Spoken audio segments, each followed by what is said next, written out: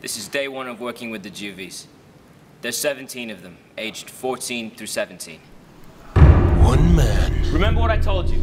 Three strikes for misbehavior, and you're out. We'll change their lives.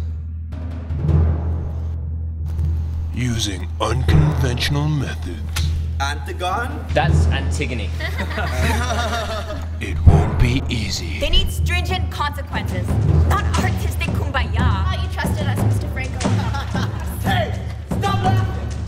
some help, Excuse me, Herr Franco. We come from St. Benedict's Preparatory Theatre School for Gifted Students. We are here to support, support, support. they can accomplish what no one thought they could. To me? But to get there, they'll have to dig deep into their pasts.